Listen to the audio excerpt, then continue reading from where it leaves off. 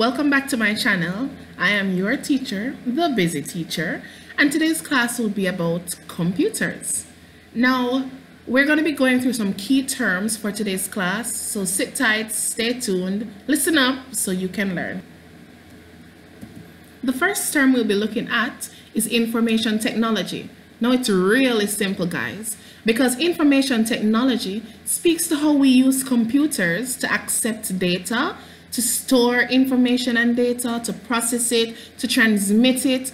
It speaks to all of these things. And when these things all work together, you get information technology coming out. So now that we understand information technology, let's move on to our next term, which is the computer. Now the computer is really, really cool, guys because it really helps to understand even the term we just did, information technology. The computer is an electronic device that accepts data, processes data, and then stores it and or sends it out as information.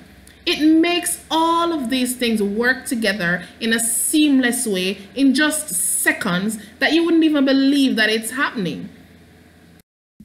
Let's now look at input.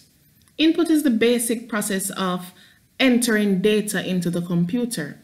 So when you use your phone to record audio or you type data, letters, numbers, characters into your computer, or you take a picture with your camera, all those things are called input because they are using the different computing devices to enter data into the computer system.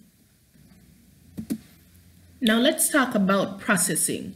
Now I love describing this word because it's so fun to think of it as raw meat that needs to be cooked. In just the same way that you're going to season your meat and you're going to cook it over open fire and make sure that it is nice and juicy, it's the same way that processing works for the computer, for information technology. Because when data is entered into the computer system, it must be processed, meaning it must be changed or manipulated or transformed into something else in order for it to make sense to the user. Now, it can come in different forms, the data. It can come in text, it can come in audio files, it can come in pictures, like I said before. However, it must all be processed by the computer system so that you, the user, can interact with it in a real way. All right, let's go back to the concept of cooking chicken for a second. When you cook that raw meat and it's done, it's no longer raw meat, is it? It's presented nicely on your plate as jerked chicken or baked chicken or roasted chicken. I mean, you can just imagine. It's the same way output presents in this situation. After data has been processed by the computer's CPU, it is then either stored or outputted. And outputted, outputted information is simply information that's sent out of the computer after it has been processed. Now we've been going very well and we've looked at so many things that the computer has done, is doing, and is able to do that all works together to make it what it is, a computer. But we've missed out on one very important thing, and that is storage. Now, storage is as simple as the name states. It stores. It stores your data and your information that you don't really want to use right now in the moment for a later date. Then penultimately, we have data. Yes, those raw facts, figures, values, one, two, three, ABC, text, words, pictures that are entered into the computer and that requires some amount of processing so we as a user can be able to interact with it. And then finally, we have information, which as we have said so many times throughout this video, is what we get when data has been processed by the computer's CPU. And here we are now, guys. We are at the term that ties it all together, the data processing sequence. Now, the data processing sequence you see here will be the simplest form you can see it in for this level.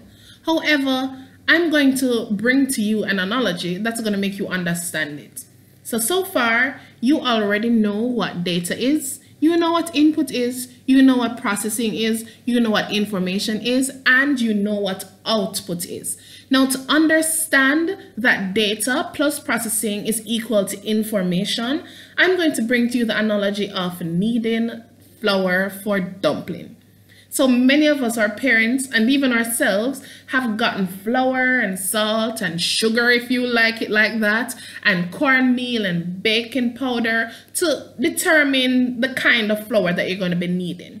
Now you put all those raw ingredients in a bowl and you mix it and knead it together with water as the binding agent. Then when you're done kneading, going through that process of kneading, you then put it in the oven or in the frying pan or in the boiling water to, to go through another process of cooking. And then when it's done, what you have presented in front of you is dumpling. Fried dumpling, boiled dumpling, baked dumpling in the form of biscuits, whichever way you want it, that is what you now have presented in front of you. And the data processing sequence is pretty much the same. It takes those raw facts and figures, that's called data, and it processes it in the computer's CPU, changes it so that it becomes the next thing on the line, which is information, which as we now know is the end result of data that has been processed. Now, as you get further into your IT lessons, you'll realize that this whole process can be extended a little further to include other things. But for right now, this is where it's at, and this is the data processing sequence.